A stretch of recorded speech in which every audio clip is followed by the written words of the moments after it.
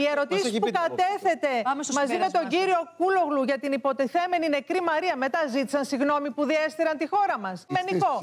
Εμείς είμαστε περήφανοι. Δεν είστε πολύ βέβαιος ότι η Μαρία είναι ζωντανή; Εγώ σας λέω λοιπόν ότι εμείς στις 16 του μήνα καταθέσαμε ερώτηση. Υπήρχε ήδη δήλωση του κ. Μηταράκη και διεθνών φορέων που υπήρχε ότι υπήρχε σε νησίδα, αφισβητούμενη από τις δύο πλευρές, και ότι υπάρχει, υπάρχουν άνθρωποι σε κίνδυνο. Ρωτάμε λοιπόν εμείς που είμαστε ευρωβουλευτές, τα αρμόδια όργανα μας, ανάμεσα σε ένα κράτος μέλος και σε ένα υποένταξη μέλος, όταν κινδυνεύουν άνθρωποι, θα παρεύει η Frontex. Πού είναι το λάθος; Ευτυχώς το κορίτσι ζει. Μα κανείς δεν το ξέρει αν υπάρχει ή δεν υπάρχει αστυνομία. Το καταλαβαίνετε. Το λέει το Σπίγκελ ότι κανείς δεν μπορεί να προσδιορίσει καταρχήν αυτή την ιστορία.